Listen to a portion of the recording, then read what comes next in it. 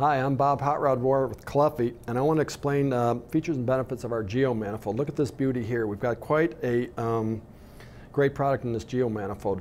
I want to explain first why you would want a Geo Manifold. Traditionally, when a loop field, geo loop field, like a ground source loop field or a pond source uh, loop field is put in, a manifold's put out in the yard somewhere and the tubes are heat fused together and then that manifold is buried and nobody ever knows where that is. If you have a problem with that loop field, you're out of luck because it's not an easy thing to find and dig up.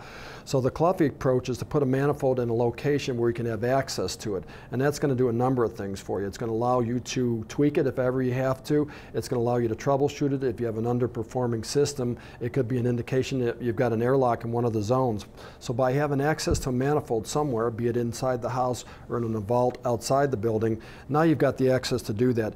It also takes that um, expensive and sometimes finicky heat fusion equipment out of the equation because that's expensive. It has to be recertified every year to make sure it's very installer sensitive. If, if an installer has a bad day and he doesn't warm that up sufficiently, he won't get a good um, fusion on that. Now if that's buried in the ground and it leaks a couple weeks later or something like that, you're out of luck. So this is really the best approach. And so what we want to show you is this manifold here. It's a polymer manifold it's available from two to eight ports.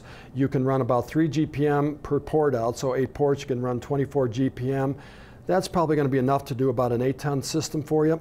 That's about the limit of this system here. But let me show you how this is built inside because it's got some really unique features the way that um, we construct this. Polymer and it's got um, these spaces around it here and so it's hollow on the outside wall and what that's going to do for you, number one, it makes it stronger because we've got all these webs that gives it some strength to the plastic when we extrude that.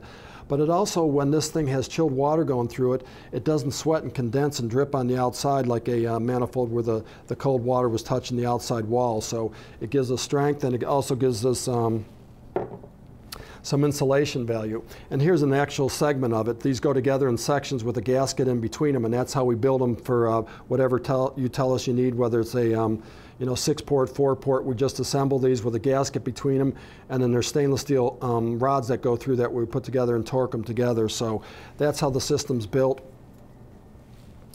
And then we offer a, a wide range of fittings um, to go onto the ports, depending on what you want to do with it, isolation valves and uh, different things, and I'm going to go through those one by one here in a second. But let me show you a couple other features that comes on every manifold. It's going to be mounted just like you see it here on these heavy-duty um, stainless steel brackets. So if it does get put um, outside in the ground or something like that, nothing's going to rust or corrode. Um, it has all these um, vents on it, supply and return air vent. So if you have a little bit of air in the loop, field that you didn't get out when you purged it the first time. These vents are going to grab that and take care of that for you and vent it out. We've got uh, temperature gauges on both the supply and return, so now you know what your delta T is so you can see how the whole loop field is performing. If you know your supply going out and your return temperature coming back, now you can see what the system is, um, what kind of energy it's transferring for you. So that's some of the features on the manifold. You can um, mount this on the wall. We give you the brackets with the egg shed holes already in it, so you just put some uh, fasteners on your wall, latch it on there. Sometimes you're going to want to mount this out in the yard somewhere, maybe in a yard box. There's companies that make concrete vaults that you can mount these in, or plastic vaults. I actually put one of these in my own home, and I used a um, a lawn sprinkler box is my vault on the edge of the pond. It's a loop field that goes into the pond. Now, if you're going to do that and this thing is laying down, now your vents need to be turned up. So if you know that's the installation, let us know when we assemble this at the factory.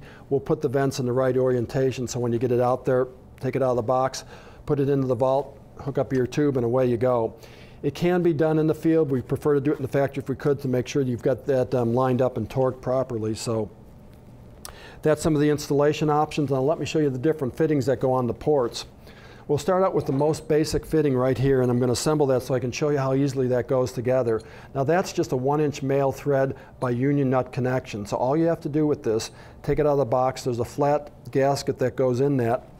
see if I can see over the top and put one of these together while you're watching here. Because what happens with this here is once you get this started and you tighten this up, I did it. You tighten that until it bottoms out. Once that nut bottoms up against the end of it and you're out of thread, it's tightened and it's not going to leak. And what's nice about the fact that we made that, we engineered that so it bottoms out and tightens at the same time, is you're not going to be tend, tend to put a big wrench on that and you know crank on those uh, threads and uh, distort the threads or anything. So as it bottoms out, it tightens, it tightens up on there, and now you've got a leak-proof seal. So there's our first um, fitting that we offer, a basic fitting. Uh, the next step would be that same fitting, but now we put our GeoGrip fitting on it. And the GeoGrip is a compression fitting. Again, it takes the heat fusion away from the manifold connection also. And you just slip that inside there and you tighten it up. The same thing's going to happen on this GeoGrip fitting is when you put the tube in there, push it until you feel it bottom out in the fitting, and then you tighten this nut here.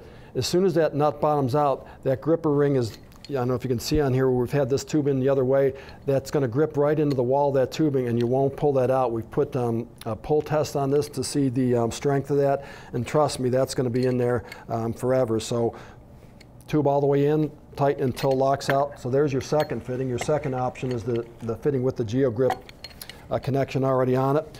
We do offer that in different sizes. Typically, a loop field is going to be three quarter, one inch, so we have that GeoGrip fitting available in both those sizes. The next step up would be this um, um, isolation valve, basically just a brass ball valve, a nice quality brass ball valve with the GeoGrip fitting already assembled into it. We seal all this and test all this at the factory, so when you get it out there, you know you're ready to just plug your tube in and uh, tighten it up and your connection is done. Now a step further, and I, this is one of my favorite um, applications, is we've got our quick setter valve that goes on it with the GeoGrip fitting. And now what's going to happen with this here is you put that on there, and now it gives you the ability to, to know what your flow rate is going through there. So now if you want to have um, a loop field, maybe you've got unequal loop lengths and you got to balance them out, you just take your fingernail, you slide that red arrow to the flow rate that you need through that loop. Then you go down here, pull out the ring like that, and that allows the flow to go through and moves the ball up so you can read what's going on. Now that's good for a couple reasons. It's good for when you first um, commission the system, you want to be sure that you've got the right amount of flow through each one of these loops. So it's good for the first initial um, startup, but it's a great troubleshooting device. You might have an instance where somebody calls and says, you know, my, my system just isn't cooling like I think it should be. You know, can you come over and check it out? Well, the first thing you want to do is start up your pump and go out and pull all these quick setter rings and make sure that every one of them's got flow going through it. Because what can happen on a large loop field when you put it in there and you put it in the ground or you put it into the lake, um, you could get air locks in it. And that air is going to come out with these automatic air vents that we give you here. So maybe a couple days or weeks down the road, enough air is burped out of it, you need to add a little bit of fluid to it. And that's going to allow you to troubleshoot to see which loop has been airlocked. The manifold is composite with all the different um, antifreezes that are commonly used in systems right now. Glycol is becoming more popular. There's still guys that are using um, uh, probably a 15% mix of uh, ethanol or methanol. It is compatible with this manifold and also the fittings and all the, um, the valves and all the different accessories that go on there. So on this end out here, you're supplying um, uh, return connections. We've got a couple different fitting options for that. The basic one would be another GeoGrip fitting there that allows you to put an inch or inch and a quarter tubing right into the end of that. Typically, you're going to have inch and a quarter going to this big of a, a port manifold, so that would just screw in there. Same thing, put your tube in there, tighten it up until that thread bottoms out, and you've got it. Now you might have an instance where you want to have isolation on this manifold. Maybe it's a large uh, commercial job where you've got manifolds in a bunch of different locations and you want the ability to isolate a complete manifold to um, uh, pressure, pressurize the system. We offer that with a, um, a nice ball valve. So that's a ball valve by male thread that goes right into the end of the manifold and now it's got the GeoGrip fitting built into it also. Again, that's an inch and a quarter size there. So that would be um, uh, option number two for the connections to the manifold. Option number three is if you want to use, if you prefer to use a nice brass ball valve there, we're going to give you a nipple to put the brass ball valve in there, and then you just get a um, straight GeoGrip fitting like that, screwed into the ball valve. Now it's going to take a little bit more distance on your uh, manifold to, to connect it all together, but there it is with the, uh, the GeoGrip with the brass ball valve a couple other fittings that are going to help you install this. If this is going to be mounted on a basement wall or the foundation wall in a building and the loops come through the wall and you want to turn them up to this to make a nice tight neat looking connection like uh, in the graphic there, we've got these um, GeoGrip 90Ls. So now the tube's going to come through the foundation wall and you want to turn quickly and go up to it. So that's going to allow you to make a nice clean looking connection instead of making a big loop and coming back to the manifold. The GeoGrip elbows are available in uh, one inch and three quarter for the different loop sizes.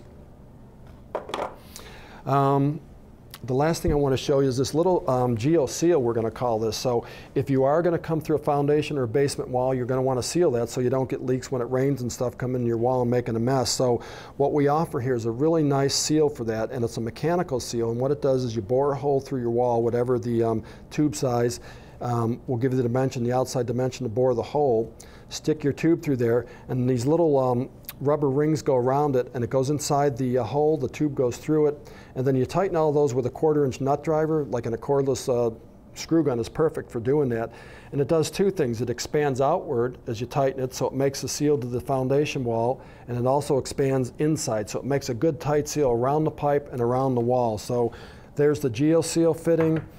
Let me wrap up with a couple more things. We make a great insulation uh, jacket to go over that quick setter because any brass component is going to have the potential to sweat and uh, drip on you. So we make it really nice. It's form fitted. It's got Velcro so it seals nice and tight. It not only seals it from uh, sweating, but it makes it look really nice too. The other thing here on the end, we've got a fill and purge valve, and by being able to isolate every zone, every loop um, by itself, now you don't need a huge horse and a half or two horsepower pump to fill and purge the system.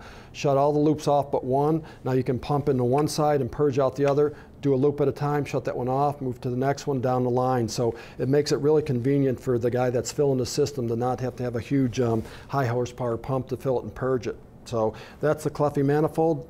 I think you're going to like it.